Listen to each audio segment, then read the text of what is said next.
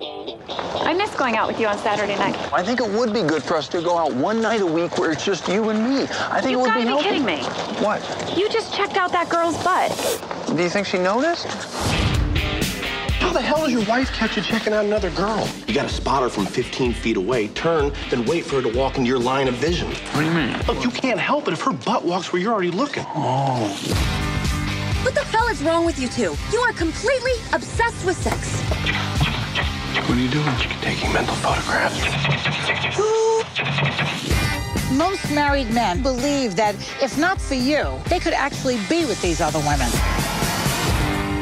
I'm giving you a hall pass. A what? A what? A what? A hall pass. It's just you and me, buddy, for the next six days. Let me log out. Okay, you log out. I'm gonna try to nail the receptionist.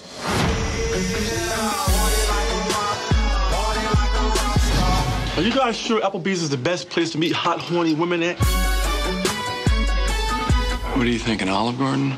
It's gonna be a long week. I think we need to pace ourselves. What? It's only 9.15. Freddie Tie Tie. You guys need to live it up. Look what I got here. What are those? Just some brownies. It's a bit naughty. What kind of soap do you use? Dove? I like Dove. Feel this.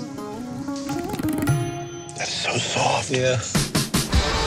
Maybe we should just call the girls, ask them to come home. No way. If we can't show that something positive can come from having a hall pass, the whole concept is dead for all mankind. What's with the helmet? Oh, chicks dig motorcycles. Got a few pickup lines. I'll just get the ball rolling. Hello? Hello. Hola. This is why we need to go to a gay bar. Excuse me. Do you think these bar napkins smell like chloroform? I'm kidding. Fred Searing, can I buy you a drink?